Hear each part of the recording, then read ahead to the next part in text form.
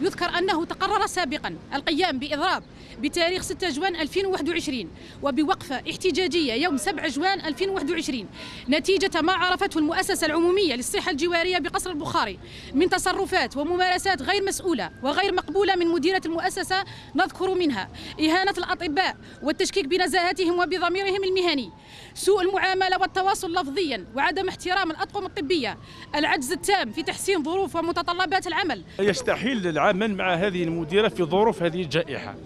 ولا وكاين إن كاين انسداد انسداد كلي بين يا النقابه يا أطباء l'EPSP قصر بخاري مع المديره بالنسبة للحوار فإن أبواب المؤسسة مفتوحة في كل وقت وفي أي وقت آه، للحوار والتشاور مع كل موظفي المؤسسة وخصوصا مع الشريك الاجتماعي. أدعو آه، نقابة آه، الممارسين الطبيين للصحة العمومية إلى الحوار والتشاور وأبوابنا مفتوحة في كل وقت خدمة للصالح العام وخدمة أيضا للمريض.